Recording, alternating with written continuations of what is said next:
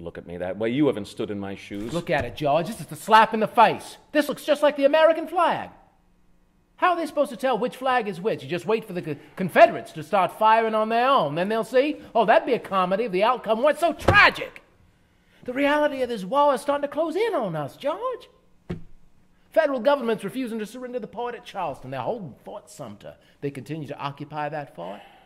They can cut off supplies coming in and out of the South. It crippled the Confederacy. And my business. Well, Davis won't allow that part to be lost. It's too valuable. they are looking to start a fight. Of course they are, George.